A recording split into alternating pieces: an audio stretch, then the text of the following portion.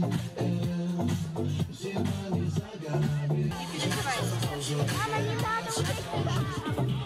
бы с ним даже не даже мне никто ничего не